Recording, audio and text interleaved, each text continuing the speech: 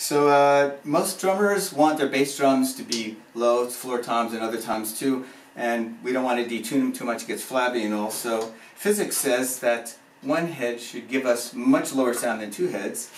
Uh, let's try it. Yeah, goes up an octave.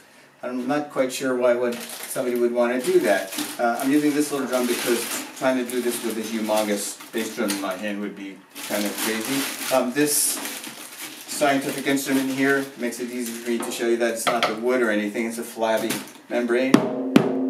Still really high. Yeah, so I think many of our drums don't want a second head on them. Yeah, man.